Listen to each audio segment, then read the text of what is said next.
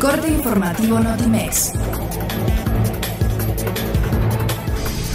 Los integrantes de la caravana de migrantes que buscan ingresar a territorio nacional de manera violenta e ignorando las leyes, difícilmente lograrán su objetivo de llegar a Estados Unidos o permanecer en México, subrayó el presidente Enrique Peña Nieto. El presidente estadounidense Donald Trump anunció que terminará o recortará de forma sustancial la ayuda a Honduras, Guatemala y El Salvador, debido a que no pudieron detener a los miembros de la caravana de migrantes que tratan de llegar a Estados Unidos.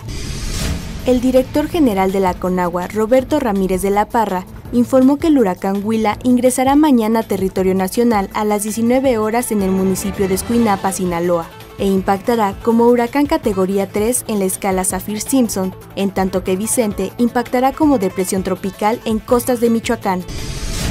Las tarifas de acero y aluminio impuestas por Estados Unidos para presionar las negociaciones del Telecán deberán ser suspendidas al momento de firmar el nuevo acuerdo comercial entre México, Canadá y Estados Unidos, afirmó el próximo canciller mexicano Marcelo Ebrard.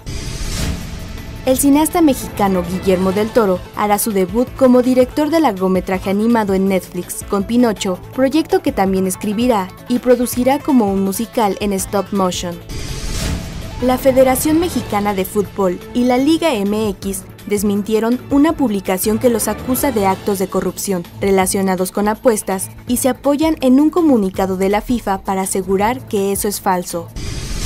El Palacio de Minería cobija la exposición Ofrendas Ilustradas, la cual muestra el trabajo de 27 artistas mexicanos pertenecientes a la Asociación Mexicana de Ilustradores, quienes rinden homenaje a la muerte con obras hechas con diferentes técnicas, estilos e imágenes. La exposición permanecerá abierta hasta el 4 de noviembre.